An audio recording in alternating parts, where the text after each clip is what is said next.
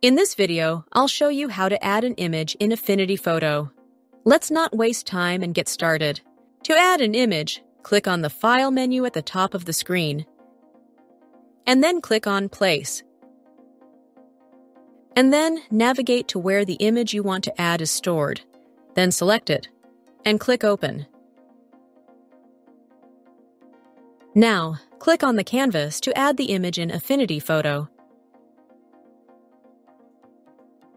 You can also add an image by clicking on the File menu, and then click on Place, and double-click to select the image. Now click and drag to add the image in Affinity Photo.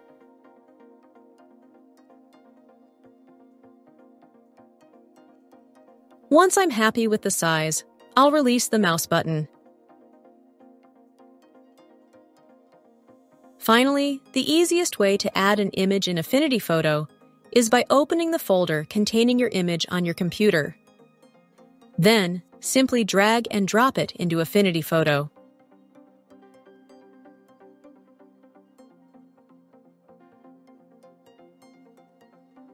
Or open the image folder.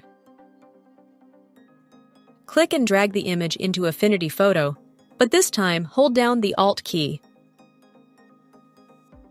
or Option key on a Mac while you drag.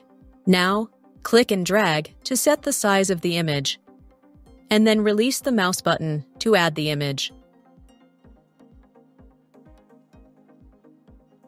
Thanks for watching. If you learned something from this video, subscribe to Let's Not Waste Time